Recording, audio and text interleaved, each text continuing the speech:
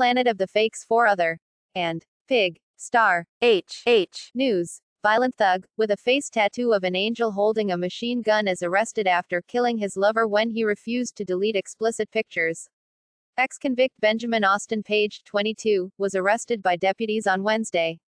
He is accused of the second-degree murder of a man shot dead in Lehigh Acres. Officials said Paige was known to and sexually involved with his alleged victim. His mugshot shows a heavily tattooed face and neck featuring multiple firearms. A violent thug, with a machine gun tattooed on his forehead has been arrested on suspicion of murder, after allegedly shooting dead his male lover in a row over sex photos. Deputies responding to a 911 call on the 3000 block of 25th Street Southwest in Lehigh Acres, Florida, discovered the victim's body laying in his front yard with multiple gunshot wounds. Officers have since arrested Benjamin Austin Paige, 22, on suspicion of second degree murder. The victim has been named by family members as Terence Brown, local media Wink News said.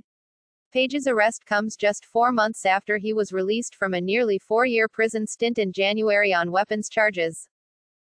During a press briefing on Wednesday, Lee County Sheriff Carmine Marceno described Paige as a violent thug, an ex convict. Paige had been allegedly communicating with Brown through social media for around a week and the pair were sexually involved, Marceno said. Full link in the description go to www.amor-ica.com. We are the new umbrella.